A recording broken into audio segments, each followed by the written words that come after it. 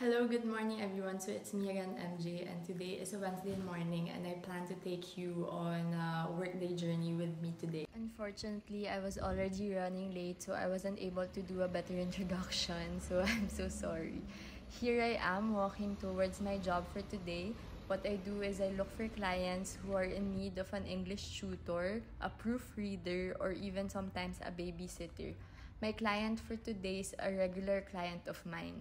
She just wants me to talk to her children in English because they already learn English at school, but what they lack is practicing it in their daily lives.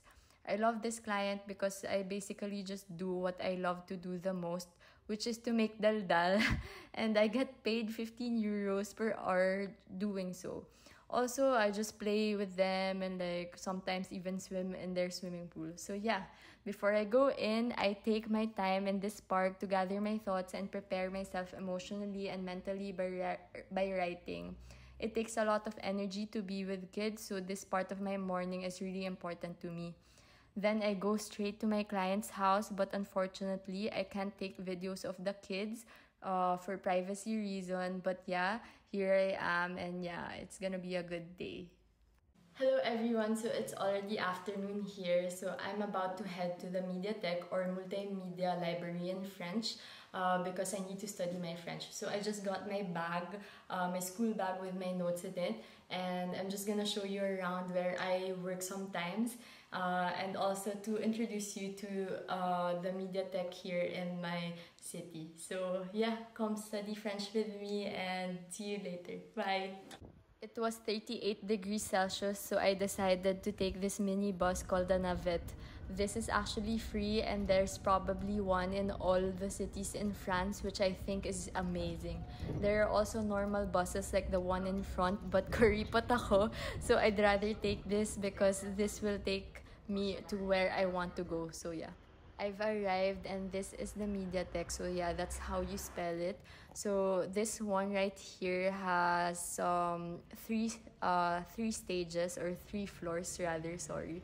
So in French, uh stage is a floor. Anyways, so it has three floors and I immediately go to the third floor because uh, it's my favorite part of the Mediathèque and here's a bird's eye view of what's inside. And then look at their computer they have a an iMac for their desktop and then um this is just like a, a view of like what's inside just to give you an idea. What's amazing is even the smallest uh, towns in France have their own uh, Mediathèque. So you can see how France is really serious about their uh, education, how they make it available for anyone. Like, literally, I can access this and I'm not even French. So I'm hoping that in the Philippines, uh, there would be uh, more libraries and stuff like this uh, accessible for anyone who would need it. So here's the desk that I chose for today because I need a big desk for my books like and notes like this. So yeah, I have a lot of notes. So uh, unfortunately, I can't speak in the library, of course, so I cannot speak French or like practice orally. But here I am just writing down and like uh, talking to myself like if you see me staring or like mouthing something it's just me trying to remember my french. So yeah thank you for spending the day with me. Um i hope that uh, i was able to share with you uh, my work and study and how i balance both of them. And i hope that it inspires you to work harder and also to to just get the book some sometimes and read because it's really important uh, for our lives. So, yeah, see you again soon. Bye bye.